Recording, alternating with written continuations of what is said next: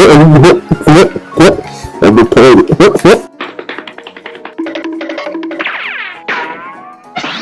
Hey everyone, look! This guy's autistic.